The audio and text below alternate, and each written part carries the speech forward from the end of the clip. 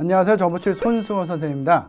오늘은 이제 여러분들 그 1, 2회 통합 필기 시험을 여러분들 보셨을 텐데 거기에 대한 이제 총평을 한번 간단히 해볼 거고요.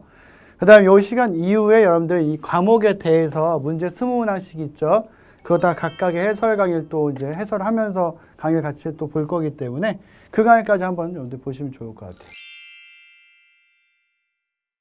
또 2020년이 또 어떤 어, 정보추익 시험에서 좀 중요했던 것은 시험이 이제 전면 개정이 됐단 말이죠. 산업기사는 개정되지 않았는데 전부터 기사 같은 경우는 NCS 기반으로 개정하겠다라고 발표를 했고 거기다 출제 근거, 출제 기준을 다 발표를 했어요.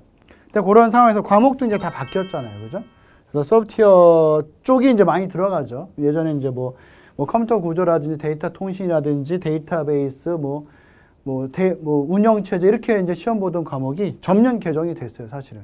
근데 다만 이제 정보처리 시험은 이 어려운 문제들이 다음에 또 나올 수 있다는 거죠. 문제 은행에 있으니까. 그래서 이 문제들을 잘 봐놔야지만 이건 여러분들한테 앞으로 이제 문제 은행이에요. 그죠? 여기에서 문제가 또 나올 거니까. 그래서 이걸 풀어보는 게 굉장히 중요하다고 보시면 되고요. 그래서 일단 이제 특징만 간단히 찝어드린다면은 소프트웨어 설계랑 소프트웨어 개발은 전적으로 다 뭐가 돼요? 얘네들은 전적으로 소프트웨어 공학이 되는 거죠.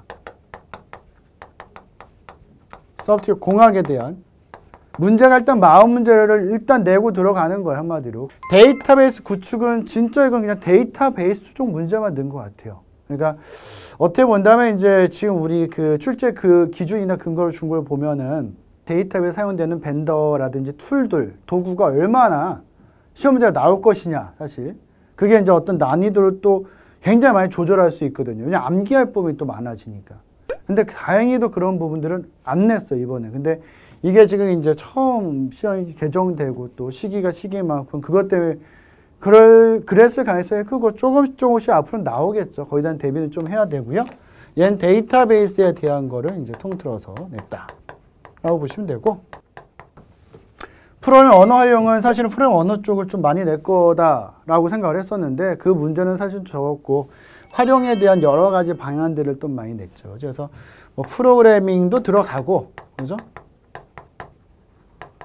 그다음 여기서 더 이제 더 많이 집중을 한 게 이제 뭐가 되냐면은 어, 음, 데이터 통신의 인터넷, 네트워크 개념이 네트워크.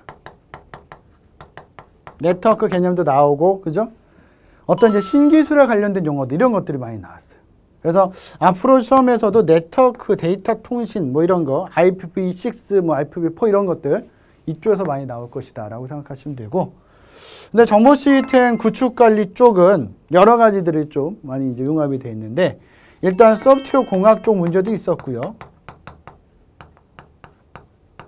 그 다음에 좀 더 이제 강세를 보여서 많이 낸 문제가 정보 보호 쪽 문제. 그죠? 정보 보호 쪽 문제라서 이제 뭐 네트워크 공격 유형이라든지 뭐 암호란 그러니까 사실은 정보 보호 쪽에서 문제가 나오면 잘 나오기 쉬운 게 암호 쪽이랑 그 다음에 네트워크 보안 장비, 뭐 네트워크 뭐 보안 공격, 뭐 도스 공격, 뭐 스머프 공격 막 이런 것들 나오기가 가장 쉽거든요, 사실은. 그런 부분들이 굉장히 많이 들어있다라고 싶습니다.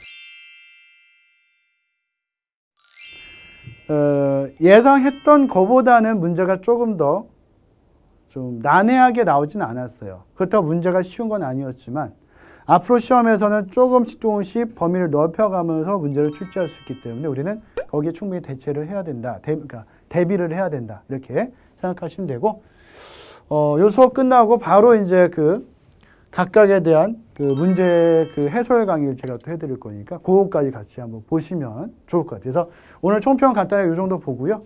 이 특성, 시험의 특성이 이랬다라는 것만 한번 제가 전화드린 것이고, 해설 특강 바로 연결해서 할 거니까 그것도 같이 한번 보시면 좋을 것 같아요. 그래서 저는 여기까지 보고요. 저는 다음 시간에 또 다시 만나 뵐게요. 예, 수고하셨습니다.